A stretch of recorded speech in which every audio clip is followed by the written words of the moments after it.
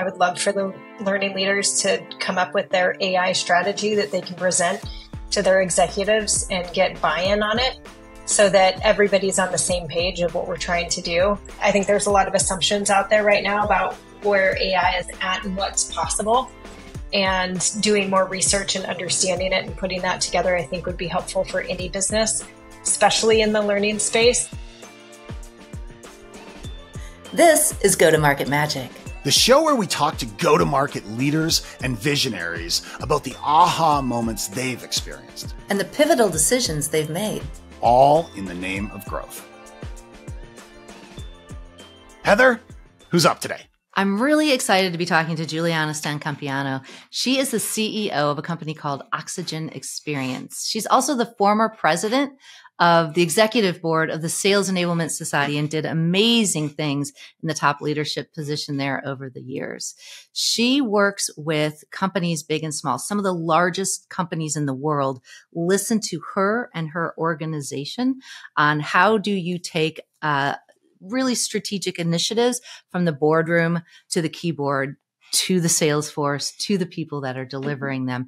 And she manages those processes. So she has a front row seat to what is going on within learning, um, within enablement, and within AI and how it's being executed in these companies and her own company.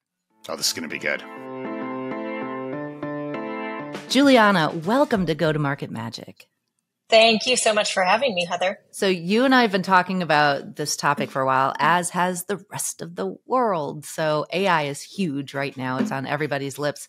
And I think that there's a lot of talk about, you know, content as far as marketing content and content that's written learning content is a little bit different and the learning applications um, beyond just content are really uh, very exciting to me but a little bit different than the conversation that's going on in kind of the general ai space. What do you think the most exciting possibilities are when we're thinking about how ai will play out in learning yeah, I, I, think it's really interesting. And as you said, everybody started in the content space, really like marketing, you know, some of the other spaces. Learning is definitely different and we're embarking on it with clients. I think the exciting part for me is that, um, content, you know, people are always have referred to this whole content as king for so many years and it's been debated on every which side. And now the content is out there and we have access to so much content. And I think that's the exciting part. And the drawback, I think, for the learning side is there is so much content. How do we know what good looks like? And that is, and I'd say that is really the crux of it from a learning perspective. So exciting because you have access to so much. And so no matter whether you have a small team, you know, I think we've all been around long enough where when businesses start learning is like maybe the last thing that starts you know once they've hit like some sort of level of maturity and amount of people they're like okay we should probably be teaching our people something. And i think that can start a lot earlier uh, for companies and they can start uh, educating their workforce much earlier in the process of having a company and building a company versus what we've seen today because the access is going to be there. Um, I feel like I'm full of caveats. It's like that being said, that being said. And um, I also think that there are going to be a lot of people that are able to do this that are maybe more subject matter experts in their area, but not very good at learning. And they're going to be able to use AI to create that learning that is going to actually help somebody versus what they might create themselves, which is typically way too dense, way too much way too. That's everything. Really interesting because I think people are thinking about it from the opposite perspective of taking people who are in the learning profession who are you know architects of learning and that may not have a lot of subject matter expertise can suddenly potentially pour all this stuff in there, get, source this stuff from um, potentially from AI that's pointed either at your internal or even external sources and say, mm-hmm. build me something. I know nothing about these topics or I know very little about these topics. Here's, we already have this structure in place. Here's all the inputs. Now go build something. So it's interesting that you see it from the opposite side of making subject matter experts great at developing learning. That is a fascinating like kind of a different way of looking at it. I think that um, there's a lot of science about how adults learn that's out there that I'm hoping makes its way into the AI and hopefully it's you know the the good stuff. And I think that's that's the big the interesting part right? There's the internal where you point things to and then there's the external.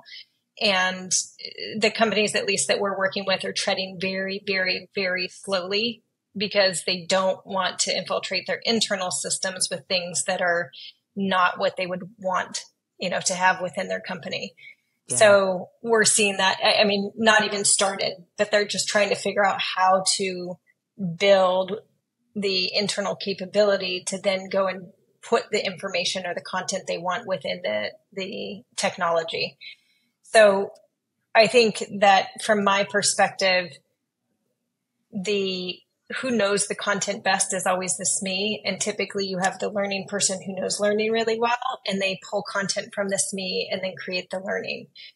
Um, if they have either access to the SME content through AI, uh, they could do that still.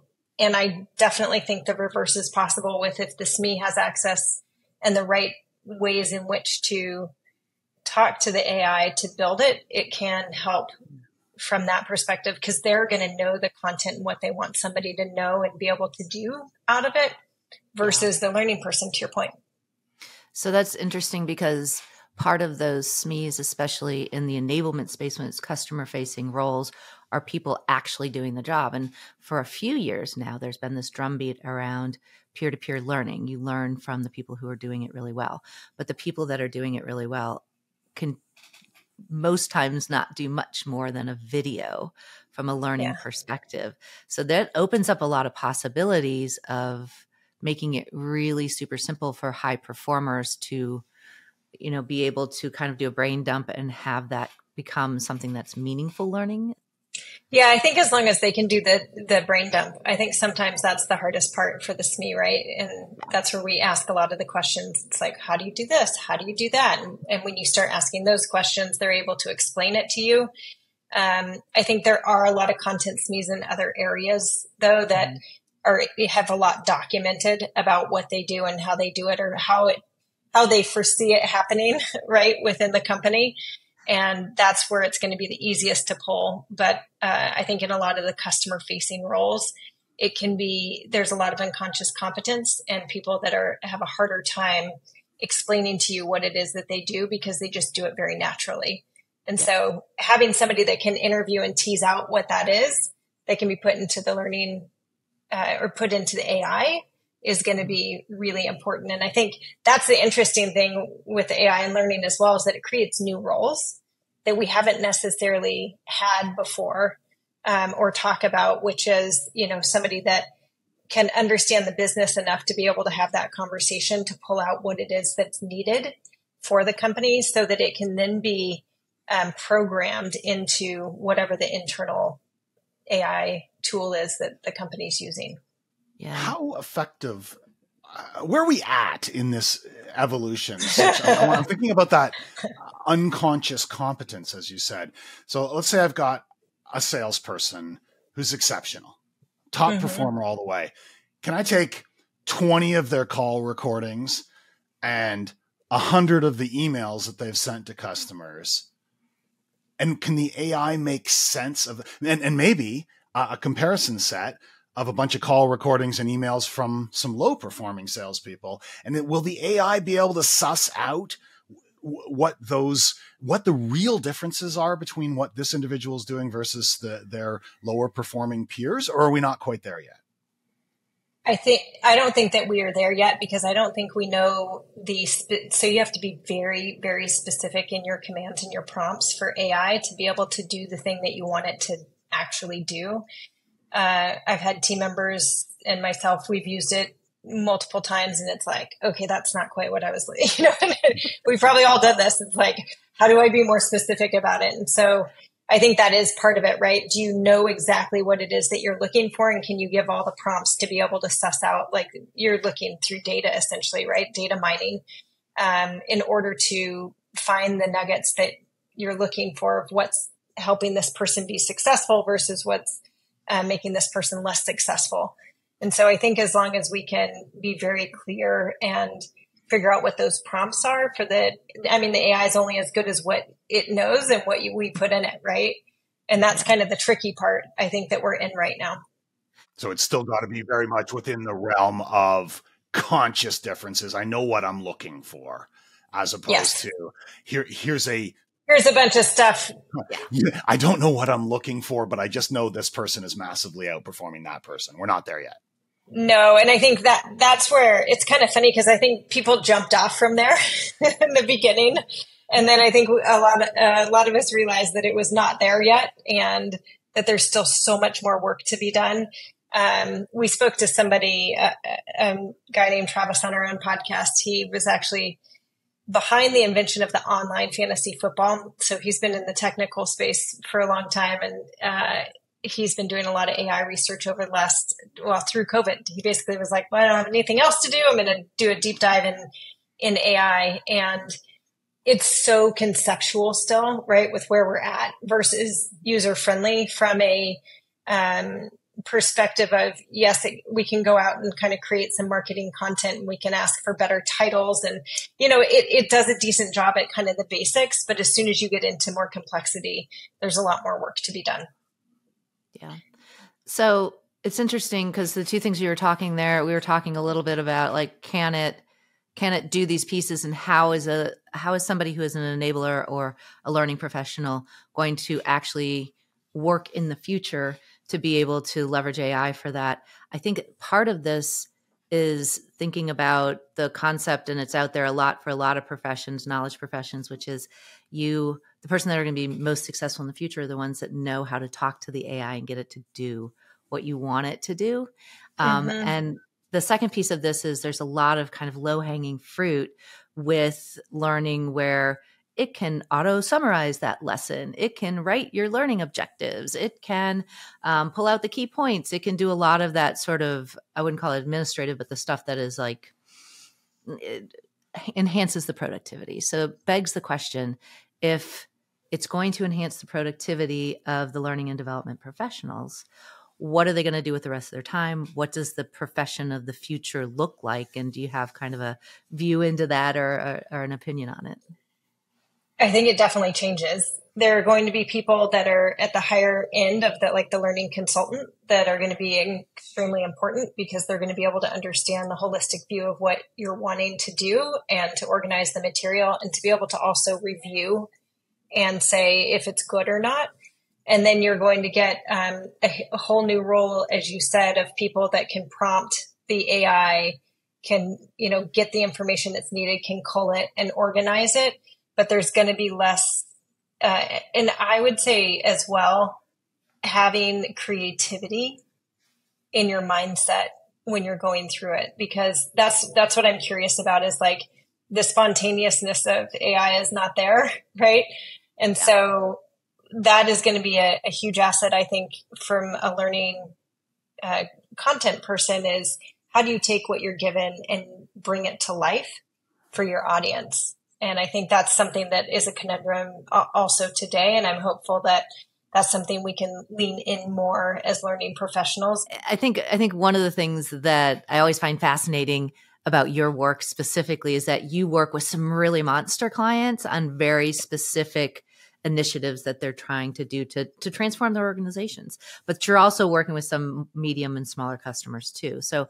I'm curious about like how are you are you specifically using components of AI within your organization and then what are you seeing being done? What how are people you said they're moving slowly how are they playing with it in the in the large companies and are the smaller companies more likely to jump in with both feet well, there's a huge security aspect, which I'm sure you all are experiencing as well. And we have to be really careful with something that's proprietary, right? So we we can't put anything in any open, any sort of open AI. So everything has to be locked down. And then, and companies are navigating this right now and they're trying to figure it out as well. We've used it for small things like, can I get a better sentence? Right? like some of the writing, uh, it can definitely help with and titles and some of the creative elements that can come back because that's kind of that marketing content that we talked about in the beginning where it's probably been used the most.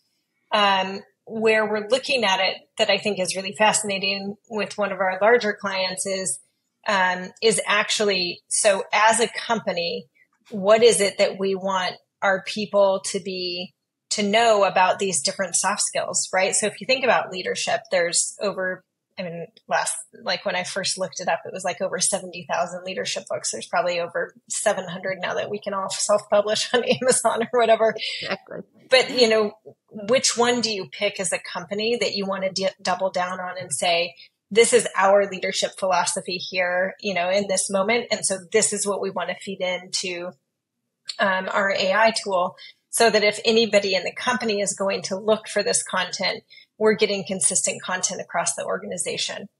That's a huge undertaking for a large company.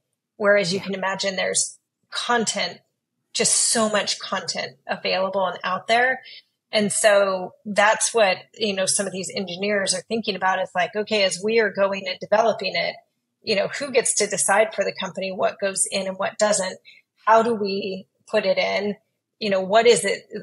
You know, who does this address? Do we parse it into different audiences, whether what your role is in the company and what you're doing specifically, because there's a lot of role based learning that's out there as well. So there are so many questions right now. And what we're trying to wade through just some of the like, how do we start sussing out some of the answers and helping them with that?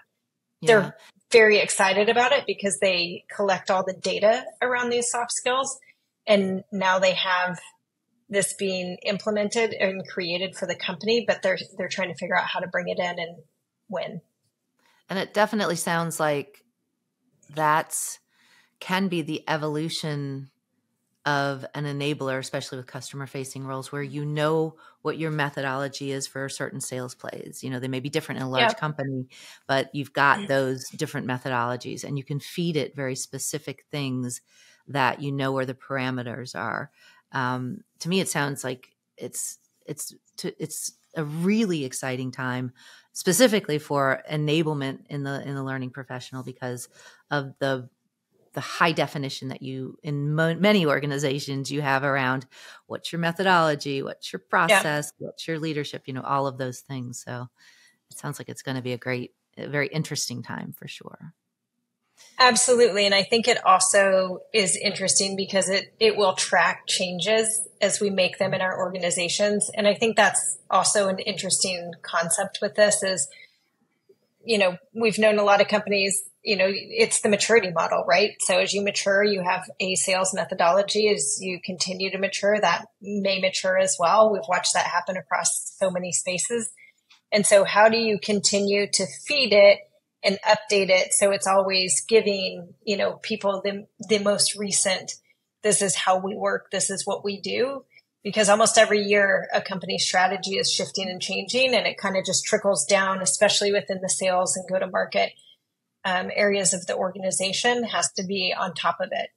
And so yeah. keeping it as current as possible is going to be I mean, just like anything today, but this is going to be huge for AI if you have your people pulling from it in order to get the content that they need to address a customer, especially. And that's, so we're, we're working in a customer facing area as well. And it's the same, right? So AI is both changing how the job that the people that we're helping do is like that's changing the, the role. And on top of it, we're feeding the AI content that's going to be able to help them going forward. So yeah, it's a really can, layered, it's a layered thing happening out there. Yeah. And that can lead to a lot of scary things happening. I think everybody's heard the story where, you know, Chat GPT made up a, story that made up litigation, you know, components that never happened, you know, cases that never happened. And, and, yeah, the sources like they want to they're there it wants to please. I guess it's meant to please. Wants to give and you an answer yeah, it's like I can give you an answer, and, and then I'll make it sound better. authoritative, even if it has to make it up. To exactly. So I had I heard a story the other day on a call where um, the, our customer said that they had a, a rep um, feeding things into to Chat GPT to even source their own website. So they were like, "Give me."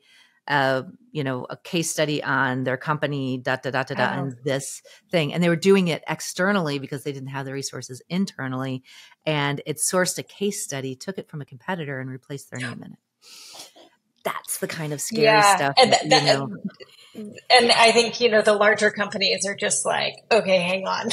Yeah, like we just created, especially the tech companies, we just created this thing, but we all need to be to tread very carefully because you can see the lawsuits flying, exactly. flying in those moments. And also, so that's the other thing that we have discussed a lot with our clients is the use for your sales roles, right? Or your customer facing roles, whatever they are.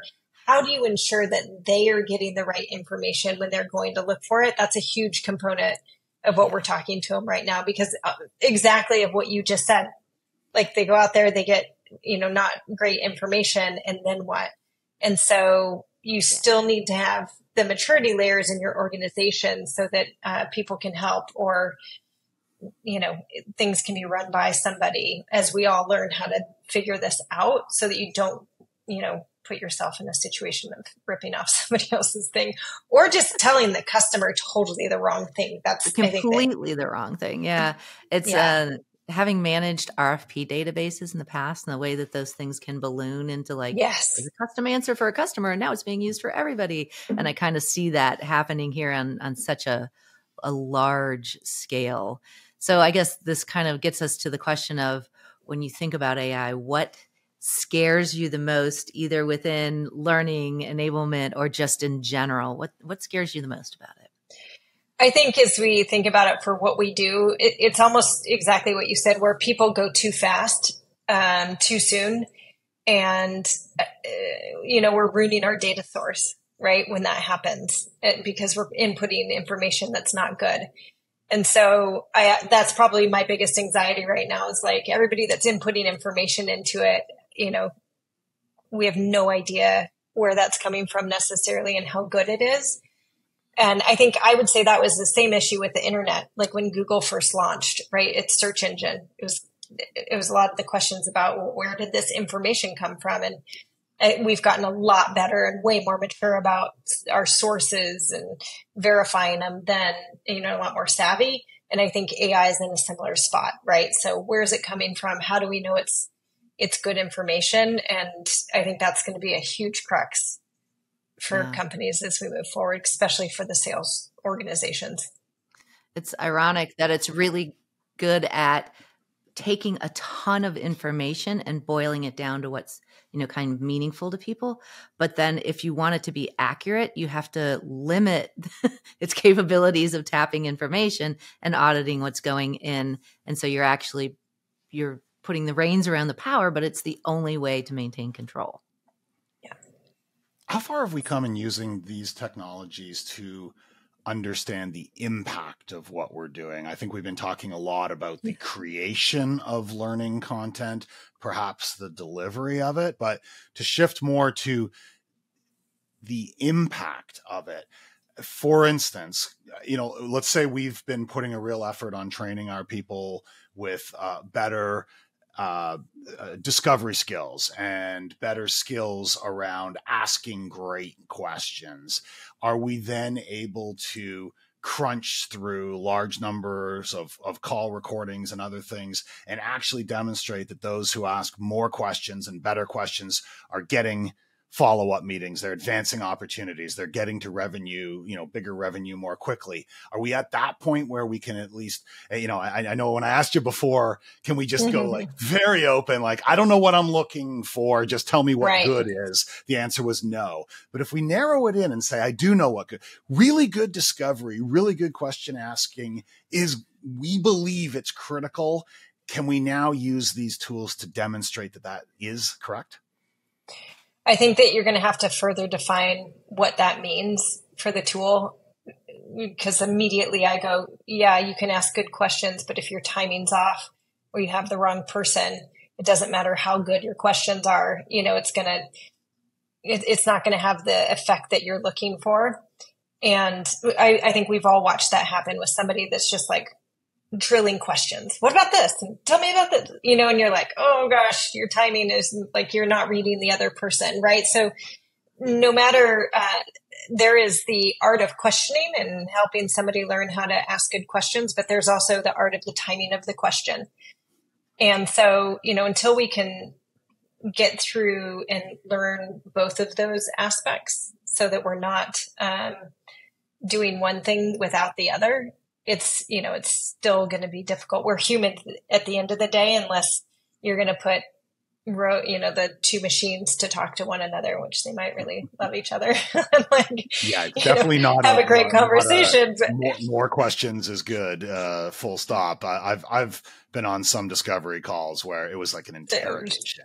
It was not good at all. It was an interrogation. It was it was 18 questions that the seller needed to fill out an answer for to establish Bant or to fill their Salesforce instance or whatever it was. And it was terrible for me as a buyer. So yeah, no, I'm with you all the way there. But so it's I like, how do, how do we like clue in the AI to be able to pulse that through, right? So how do you explain, um, somebody asking questions at the right cadence, you know, and the AI can't see the other person, you know, so it's, it, that's hard, right? When you can't hear the tone, can't see facial um, features or whatever if we're on Zoom calls, etc.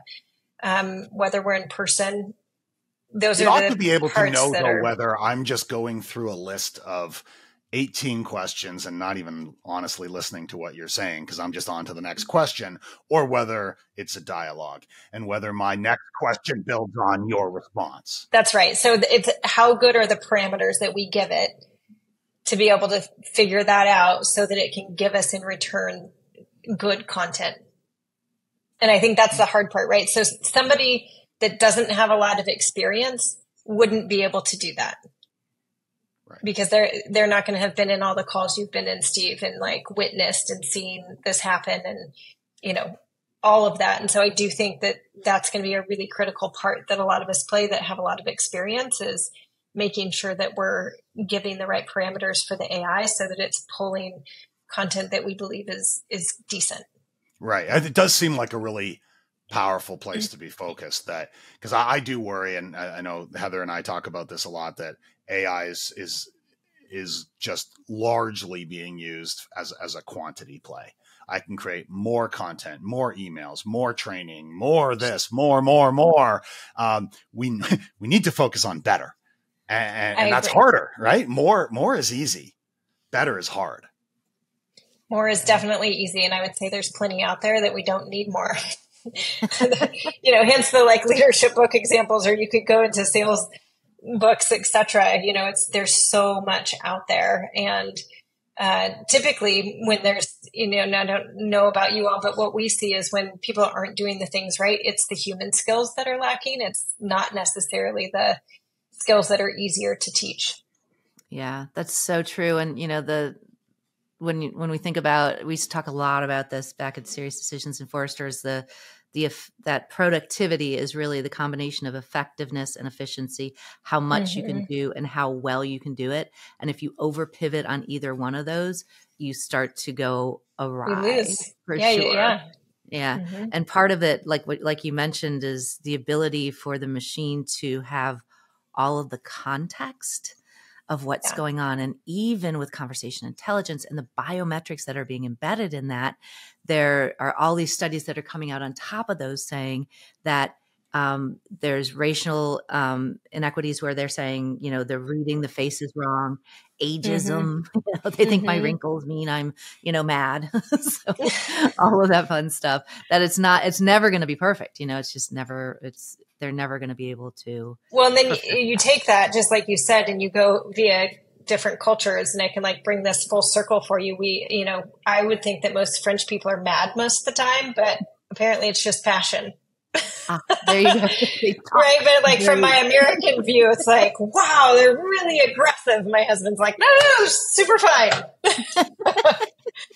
and so, you know, not knowing that across different cultures, again, you're pulling in data and it's not accurate. It's not, you know, I'm not reading them right. So I, am having to adjust how I read yeah. somebody to be able to get the right temperament.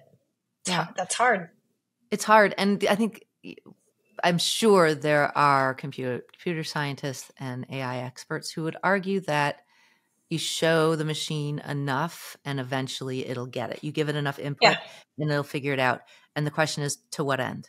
You know? Yeah. To what end? Is what are we trying we really to need? get yeah. yeah. from it?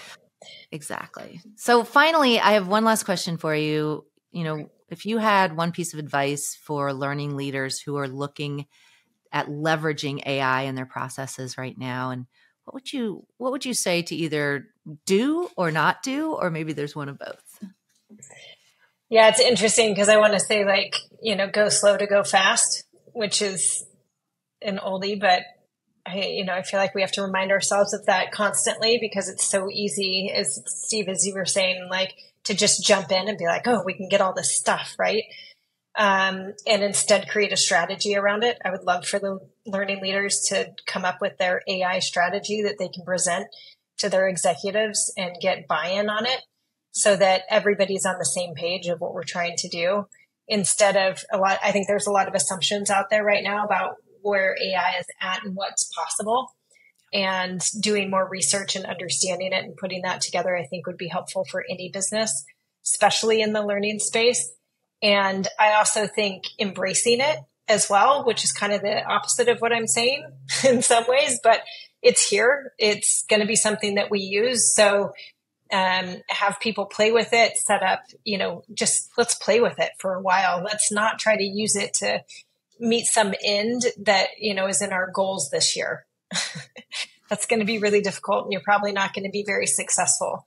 But let's start uh, playing with it and making some safe spaces so that your people can get used to it so that it doesn't feel as scary for them. That's what we're, you know, very much trying to do. It's like, well, let's put this in and let's see what we get. And I have people on my team doing that as well and being critical, right? So how do you think critically then about what the AI gives you and whether it's good or not and, and the usage of it? So I think there's a lot in there that we can do, but I would say embracing it and also having a really strategic plan around how we want to approach it. Probably the two things that I, the customers I see doing that, I think it's very smart. Yeah. I think, um, you know, it's, I think there is some fear out there that it totally. will replace jobs and that it will do it will cause harm um, one of the greatest comments i saw on it was cnn was interviewing um, one of the top specialists in this area from stanford and they said he said the guy from stanford said are you you know the question was are you do you think this is going to replace a lot of jobs? And he said well if you employ uh, psychotic six year olds in your organization, then yes, go out and have large language models go replace those psychotic six year olds. And I think that's kind of indicative of, of, a little bit where that is right now. But six year olds grow up. So, it, you know, playing with it and understanding it is great advice. Yeah. I think making it light, if you're a leader, like making it really light right now for your teams and letting them have the opportunity to play with it and tell you what they think and do some fun things makes it less scary. And I think, you know, to your point, Heather, I do. I think there's a lot of fear out there. Is this going to replace my job, etc. In fact, when it first, like when Chat GPT first came out, I had somebody on my team go in and ask for it to write something up about oxygen and came back with he was like it was really good and i was like yeah because that's basically what we wrote yes. it's just giving you your your own work back exactly. so good job good job you but wait, wait a minute isn't that what consultants do juliana they, they make it an all the PowerPoint time deck though you know so. yeah, it looked prettier yeah all right. Well, thank you so much for joining us, Juliana, today. It's been it's been great, and I know it's late in France, so we're going to let you go, but we really appreciate the conversation. Thank you for having me. It's been fun. Thanks, Juliana. That was great catching up with Juliana. Heather, what were some of your largest takeaways from that conversation? I think, you know, the, the, the everybody is talking about AI and it is a very popular topic right now. And I found that it was quite interesting that she diverted a little bit from what we're hearing the popular topics being first of all not content marketing um, and also thinking about it very specifically in the learning space but not necessarily about making the rep more effective and efficient which clearly we want to do as an outcome um, or the enabler more effective and efficient, which is clearly another outcome, which we touch on later. But also, first, she went to the ability to make folks who have a lot of stuff in their brains, those SMEs, and how do we take what they know and maybe even skip the intermediary so they can do a brain dump and be able to make good learning um, from what they know instead of Eh, them having to interpret that to somebody who interprets it to somebody who creates the learning, which obviously will make the entire process much more effective and efficient. And uh, that I think is a something that hasn't been talked a lot about. Yeah, I think that's really exciting. You, you think about the amount of institutional knowledge that resides in every firm and, and it's in the brains of some of your leaders, some of your experts in various space. And so it's hard to get it out in manageable ways. It's hard for that subject matter expert to, to find the time to really structure it and work it through with, with learning and enablement people. And it's also hard for others to fully understand their own subject matter experts and and and the nuances of of what they're saying and, and the idea of being able to brain dump as you said. And also i'm thinking you know we ought to be able to feed in recordings of conference speaking recordings of podcasts recordings of of calls that these people have done. And and then have the AI make sense of that in a way that an enablement professional or a learning professional can have a real assist in turning that tremendous amount of, of knowledge into some structured, consumable delivery. I, I think that's going to be incredibly impactful. It is. And as Juliana said, we're not there yet, but part of that is, is feeding the beast because you have to have a tremendous amount of examples of what good looks like for it to learn appropriately and to make correlations. And most companies do not, at least not down to the level of specificity within a role or within, you know, this is what good looks like talking to a financial services person, but not necessarily what good looks like when you're talking to somebody in the transportation industry. So those nuances need a lot of examples for it to be able to learn appropriately. So yeah, we're not there yet, but the possibilities are just amazing. And I just can't wait to see what happens in the coming years. Yeah. And that, that takes it to the balance that she spoke of uh, a couple of times in a couple different ways. On one hand, you need to be grounded in strategy. You need to know what you're doing and why you're doing it.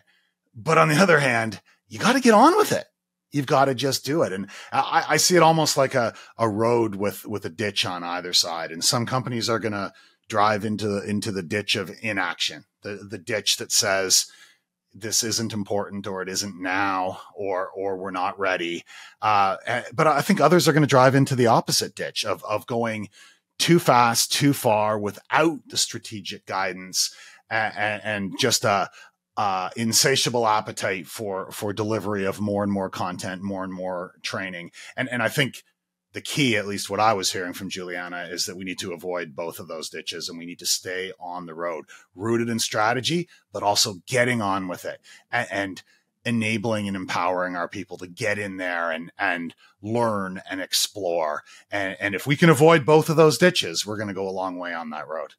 Yeah. And I think setting that strategy, as you said, making sure there's guardrails around how it can and can't be used, and then thinking about it about those low hanging fruit things that can be done really easily. Like, how do you write a summary? How do you write a quiz? All of those things are really, those are things that, you know, generative AI can do really well. But then there's the stuff that you were saying is the art of the possible that we need to experiment with and play with. And we all need to understand what is going to work, what is working now, and what, you know, can we do with it in the future and what makes sense. Exciting times. Indeed. If you enjoyed this episode, follow the show on YouTube or your favorite podcast app. And check out go to market magic.com for show notes and resources.